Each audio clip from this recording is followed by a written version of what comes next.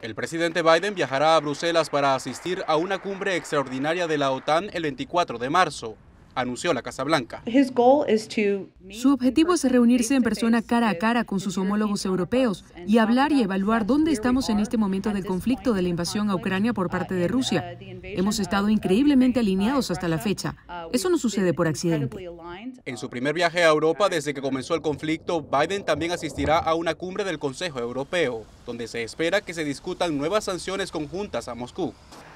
Este martes, Rusia sancionó al mandatario estadounidense, a su secretaria de prensa y otra decena de funcionarios de alto rango de Estados Unidos, incluido el secretario de Estado, como una medida recíproca a las sanciones impuestas al presidente ruso y su círculo más cercano.